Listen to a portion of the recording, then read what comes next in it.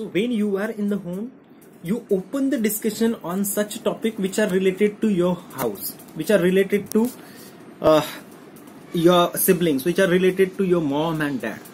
Now it will give you another exposure because the vocabulary that you will use when you are talking with your friends and the vocabulary or the kind of intonation pattern, stress pattern, the way you talk with your parents and the way you talk with your friends will be different. So you get another scenario, another uh, event about family and friend.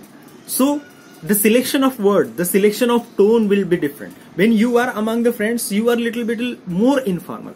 When you are talking with your dad, a little bit formal you need to be very polite you need to be in your tone so you learn these paralinguistic things now what are these paralinguistic things when you are talking with your teachers you need to be polite you need to be lower in your pitch so automatically you learn it. The things that are required to be very fluent. Now to be very fluent means sorry i forgot to tell you according to the situation according to the person by maintaining proper speed by, by maintaining proper loudness you converse. And the conversation is spontaneous.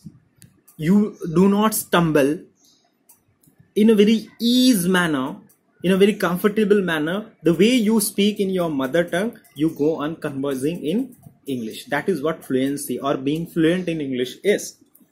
And you get it when you are among your friend circle when you are in the company of your family members. So open the conversation. It may be about kitchen it may be about new recipe it may be about new program new serial.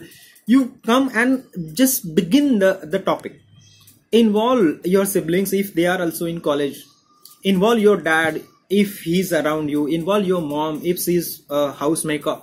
So these people are there very handy so that you can practice you can speak. And these are your own people. They will listen. They will definitely cooperate. They will tell you exactly what you are where you are going wrong. So be among these people and take their help directly or indirectly